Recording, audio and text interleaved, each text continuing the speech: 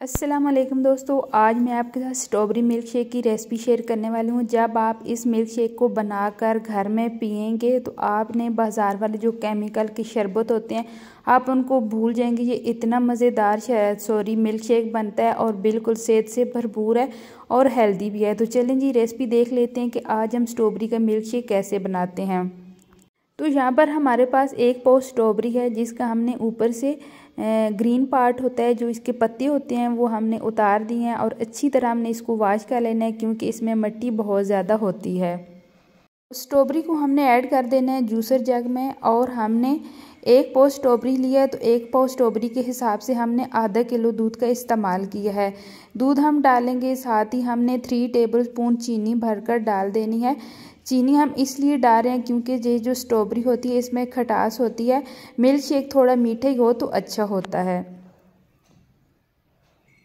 अगर आपको ये स्ट्रॉबेरी का मिल्क शेक पसंद नहीं है तो आप दूध की जगह पानी भी ले सकते हैं। अच्छी तरह ब्लेंड कर लेंगे। ये देखें, ब्लेंड कर लेने के बाद यहाँ पर हमने एक छन्नी लेनी है। छन्नी की मदद से सारा हम मिल्क शेक छान लेंगे।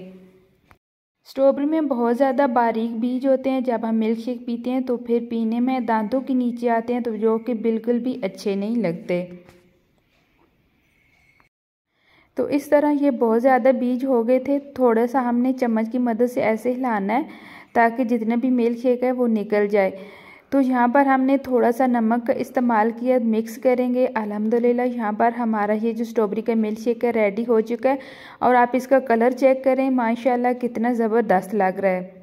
अगर आपके घर गेस्ट आ रहे हो तो फिर आपने नमक नहीं डालना, क्योंकि थोड़ा टाइम लगता है। अगर आपने साथ ही बनाना है और साथ ही पी लेना है तो फिर आपने थोड़ा सा नमक इस्तेमाल करना है, बहुत ही जायका बढ़ जाता है। तो यहाँ पर हमने गिलास में ये देखें स्ट्रॉबेरी का मिल्क डाल दिया है और तुख मलंगे का बीज ऐड करेंगे और मिक्स करेंगे। अल्हम्दुलिल्लाह, यहाँ पर हमारा स्ट्रॉबेरी का मिल्क शेक बनकर तैयार है।